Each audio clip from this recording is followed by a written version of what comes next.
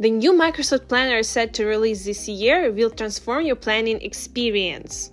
Get ready to embrace these changes and make the most of new features. Let's dive into what's coming.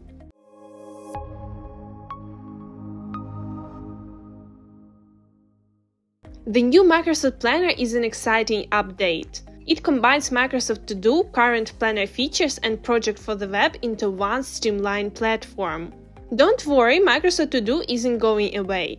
Its feature will continue under the new Planner brand. This upgrade means easier plan management, which you'll see more of later. Plus, Planner will now have enhanced task management features like custom fields, timeline views, resource management, copilot capabilities, and more. The updated Microsoft Planner lets you create personal and private plans that only you can access and see. This was possible in Microsoft To Do, but now Planner makes it easier to manage these private plans. The best part? You can share these plans with other vendors ready.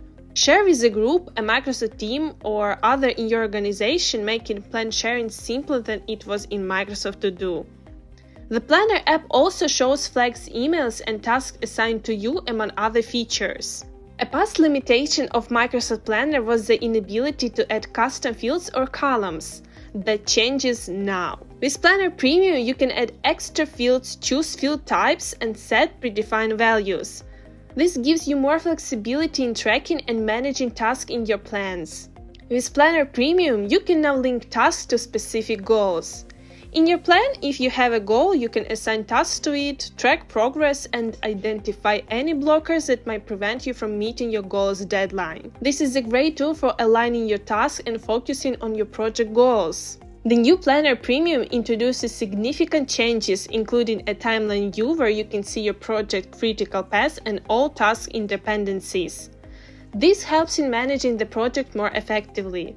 Resource management has also improved. You can now track how many hours are assigned to each resource weekly and address issues like overallocation.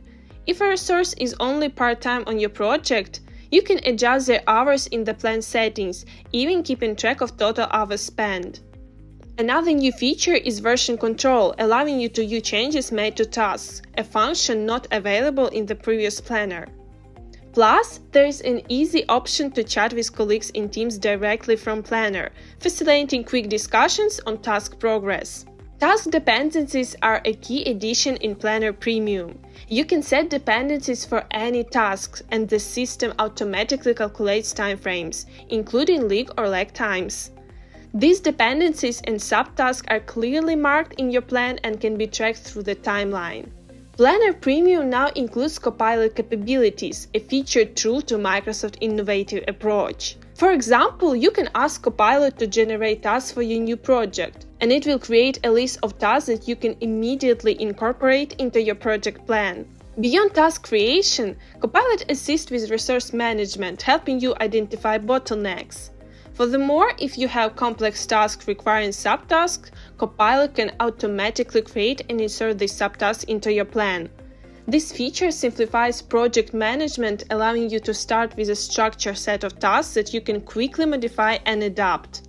What's coming up next? The new Planner Premium set for release this year will be a paid upgrade. You'll need to purchase additional licenses, similar to the current project for the web, known as Project Plan 1, which costs about $10 per user per month. For using Copilot capabilities, you're likely to need a separate Copilot license, which is expected to be around $30 per user per month. If you enjoyed this video, please give it a thumbs up. And for more great content like this, don't forget to subscribe to the channel. See you in the next videos.